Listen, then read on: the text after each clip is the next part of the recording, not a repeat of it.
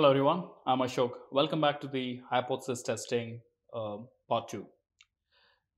So we have in the last video we discussed about one sample t-test and how we can use one time sam sample t-test to compare a data distribution with a hypothesized mean. I've taken example of marriage age of uh, male in India and compared that with a 30 which is a hypothesized mean and actually proved uh, that we cannot confidently or statistically reject the claim that 30 is the marriage age. So we accept that 30 is uh, statistically um, uh, marriage age in India for a male. Okay, so let's discuss two sample t-test. So this is two sample independent t-test. So two sample independent t-test.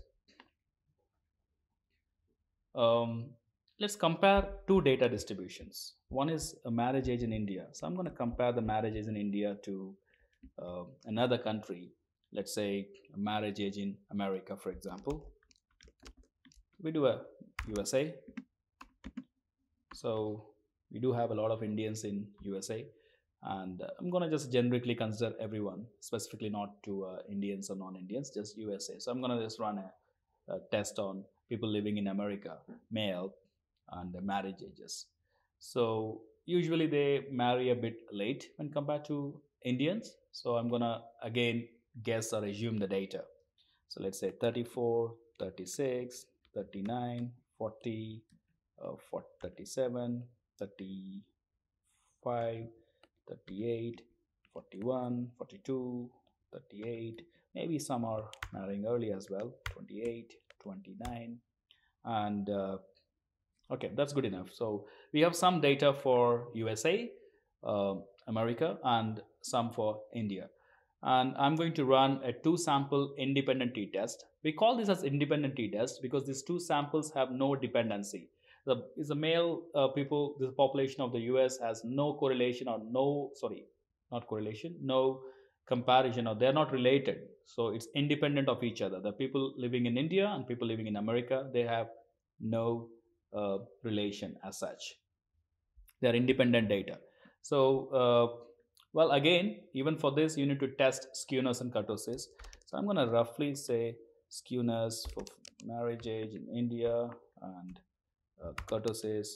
I can use a print statement. It just takes a lot of space. I'm going to simply say stats dot skewness for marriage age of USA and uh, again stats dot kurtosis of uh, marriage age in India. And then stats kurtosis of marriage age in USA. Run it, you get four different values in a tuple.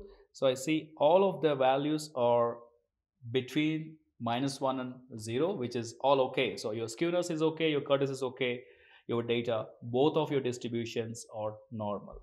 So I can go ahead and apply to sample t-test. So I'm going to simply set up the hypothesis testing first, hypothesis first before going ahead with the uh,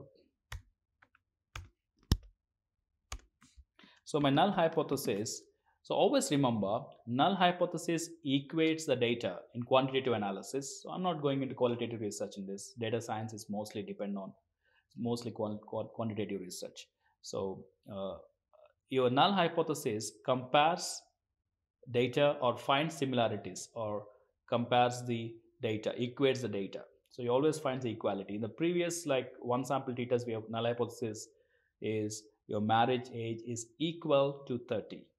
Here we say we have two data, so we don't have any hypothesized mean here. We have two different data distributions and we are comparing them saying they are same. So that's what the null hypothesis does. Null hypothesis always equates the data or in other words finds similarities.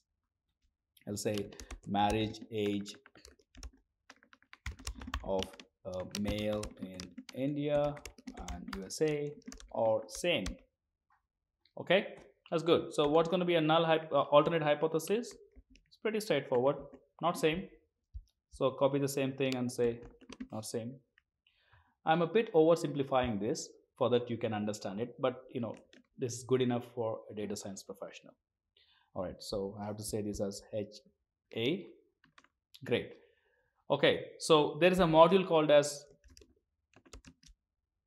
uh, t-test independent ind as you can see here and this module compares two data distributions and comes up with the probability value you know the same or not same. So marriage in india and marriage in usa you run it your p-value is actually 0.01 so i'm going to conclude the test now saying p-value is equal to 1.1 percent which is 0.011 is 1.1 percent which means p is less than 5 percent is less than 5%, right?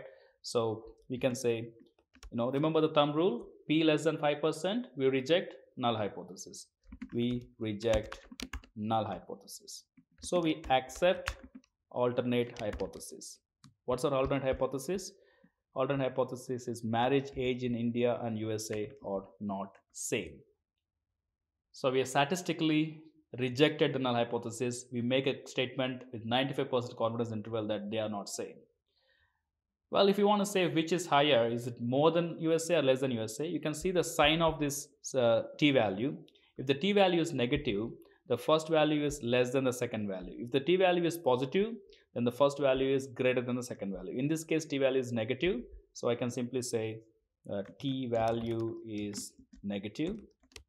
So marriage age, marriage age of male in India is uh, statistically statistically more than oh sorry less than less than marriage. Oh, let me write it on the second line. Uh, statistically statistically less than marriage age of male. Sorry for my capitalizations. You don't need to capitalize this. Okay even this. Um, this is less than marginal male in USA and USA needs to be capitalized.